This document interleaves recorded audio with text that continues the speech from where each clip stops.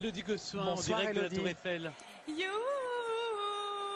Hello Petra Bonsoir